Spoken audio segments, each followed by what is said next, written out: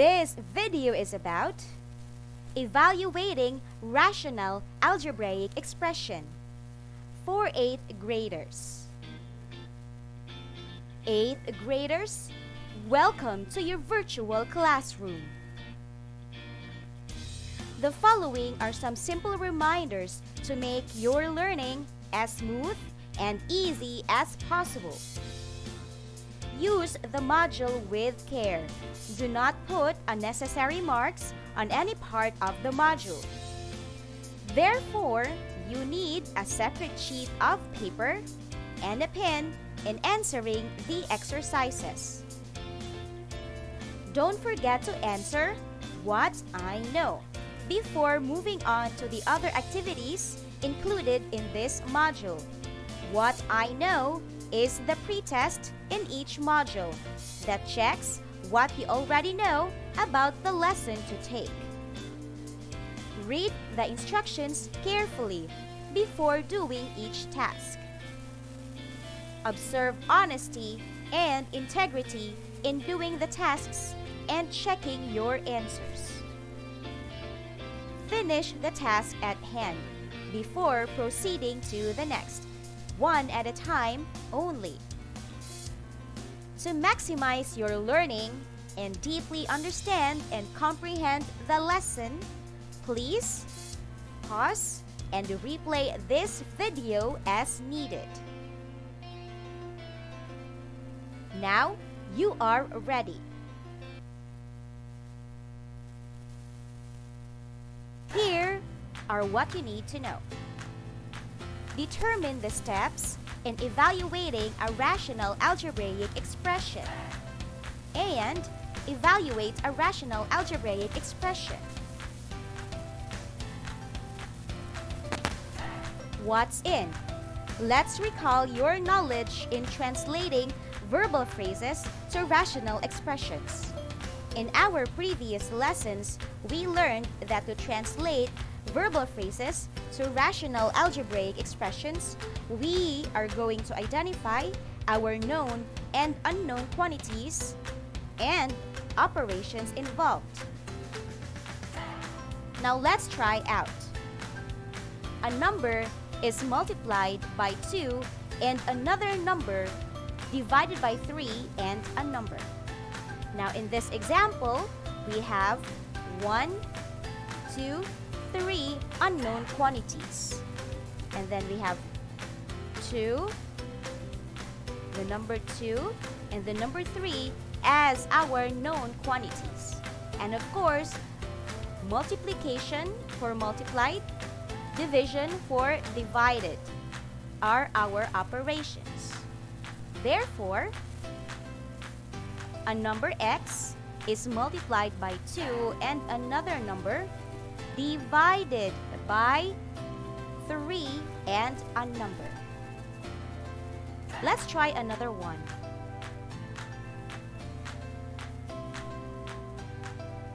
The quotient when 18 added to a number is divided by the difference of another number and 5. So we have one number, two numbers, two unknown quantities. And then we have 18 and we have 5 as our known quantities. We have division for quotient, addition for added, and subtraction for difference. Therefore, the answer to that is the quotient, meaning division, when 18 is added to a number and the difference of another number and 5. x plus 18 over y minus 5. Very good.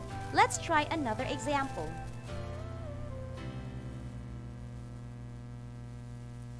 Divide 5 times a number and the sum of 9 and the number. Okay, so we have a number and the number, which means we only have one unknown quantity. And then we have 5 and 9, They are our known quantities.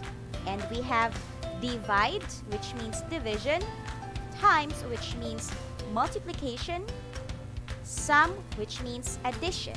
Those are our operations. Therefore, we have divide 5 times a number and the sum, which is addition of 9 and the number. Sounds good. In this activity, we have translated the verbal phrase to a rational expression. You considered mathematical operations, symbols, and other variables in assigning the values. What if the variables will be given a value? What could possibly happen? What's new? Now let's analyze this. Teacher Justin is printing his module for the students living in the area which is affected by the enhanced community quarantine due to the coronavirus. His module has X pages. If he printed 330 pages of the module, how many pages does each module has if he has 15 students? Now, we know that teacher Justin has how many students? That is right. He has 15 students. Therefore, how many modules do we have? We have 15 modules also. And also the story asked for the number of pages. Therefore, we have X number of pages. We don't know the number of pages. And that is what we are going to look for.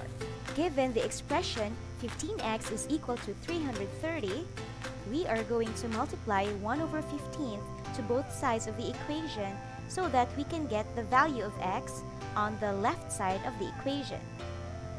Now, we have x is equal to 330 divided by 15, which is equal to 22. That means there are 22 pages in each module. Now, what if Teacher Justin printed 440 pages? How many students can have the module given the value of x? Let y represent the number of students. So, 440, the total number of pages printed by Teacher Justin. X is the number of pages in each module and Y is the number of students. So, we know that we have x is equal to 22. There are 22 pages in each module in our previous solution. And our equation, our number of students can be identified by dividing the total number of pages printed by the number of pages in each module. Substituting the value of x which is 22, we have 440 over 22. Dividing that, we have y is equal to 20. Therefore, there are 20 students that can be provided when teacher Justin prints 440 pages. What is it? The expressions which are not polynomials are called rational algebraic expressions. For example, 15x minus 300 is a polynomial. 440 over x is not a polynomial. It is a rational algebraic expression. When a variable is substituted with a number in a rational expression, it is called evaluating rational algebraic expressions. Algebraic expressions can be evaluated by substituting the given value in each quantity or variable. For example, the value of x is 22. We substitute 22 to x, which is 440 over 2 times 22. And then, performing the indicated operation. In this case, we have a multiplication 2 times 22 is 44 and then 440 divided by 44. That's a division. With grouping symbols, operations within the grouping symbols must be performed first before the other operations. Again, substitute the given value of each variable, perform indicated operations following the GEMDAS rule. GEMDAS means groupings, exponents, multiplication and division, addition and subtraction. And lastly, reduce to lowest term. These are the general rules in evaluating rational algebraic expressions. Now let us try some examples. Evaluate the following rational expressions. Our given is 330 over 15x where x is equal to 2. Step 1. Substitute the value of x which is 2. Step 2. Perform the indicated operation which is division. 330 divided by 30 is equal to 11. That is our answer. Sounds good? Let's move on to our second example. Second example, 5k over 3k squared plus 4m where k is equal to 2 and m is equal to negative 1. Step 1. Substitute the values of k and m. k is 2 and m is negative 1. Step 2. Perform operation in the grouping symbols, which are 3 times 4 and 4 times negative 1 is equal to 12 minus 4. Step 3. Reduce to lowest term. 10 over 8. Final answer is 5 over 4 or 5 fourths. That is great! Again, you can pause and replay this part of the video to further comprehend with evaluating rational expressions. What's more, it's time for you to compute. Evaluate each algebraic expression when m is equal to 3, x is equal to 2, y is equal to negative 1, and z is equal to negative 2. Write your answer on a separate sheet of paper. Show your solution. Number 1, w plus y over x. Number 2, 3w plus y over z. Number 3, 4xy minus z over 2wx. Number 4, xy over x plus y. Number 5, y squared plus 3wx. Number 6, to y plus 9z. And of course, please submit your work on time. Can I count on you? Thank you very much. Now, here is what you need to remember. That rational algebraic expressions, the numerator and the denominator, are being denoted by the p and q variables. And of course, when you are going to evaluate rational algebraic expressions, make sure that your q is not equal to 0 because it will become undefined. Fractions where denominators are zeros are undefined. Sounds good? Here's more. The steps in evaluating rational algebraic expressions. Number 1. Substitute the given value of each variable. Number 2. Perform indicated operations following the GEMDAS rule. And number 3. Reduce to lowest term. Now that's excellent.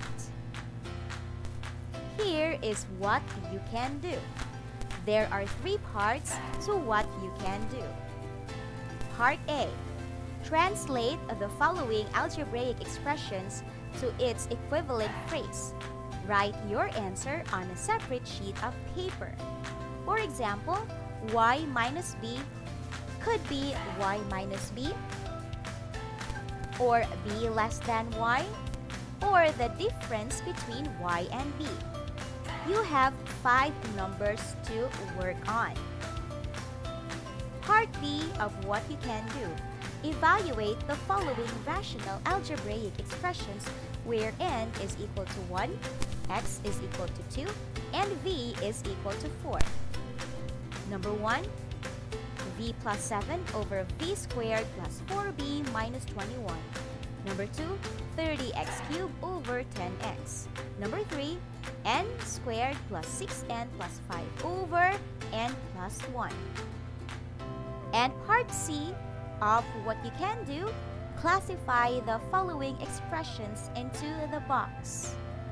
We have pq over square root of 7, a minus c over b to the power of negative 2, v plus 2 over 0, m over 3m squared plus 6m, b over x squared minus y cubed, m over n squared, 4 over l squared minus l squared,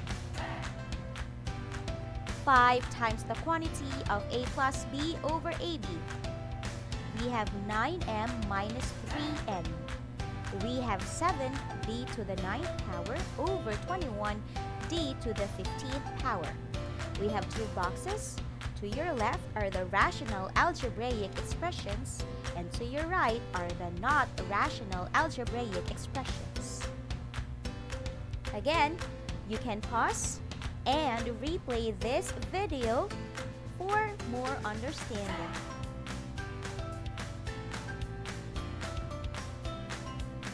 And please submit your work on time. Can I count on you?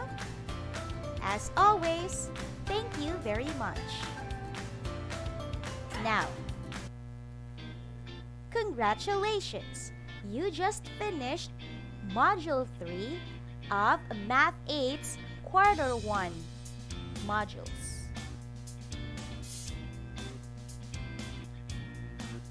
Here are some simple reminders. Make sure every answer sheet has your name, grade and section, and title of the activity or activity number.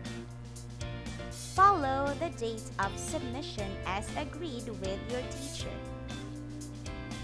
Keep the modules with you and please take care of them. And lastly, return them at the end of the quarter.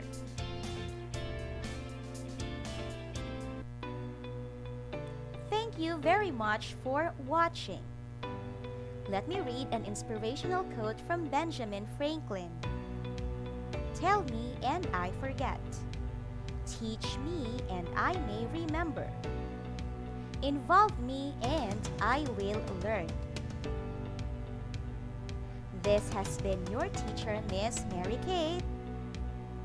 Get involved and keep on learning.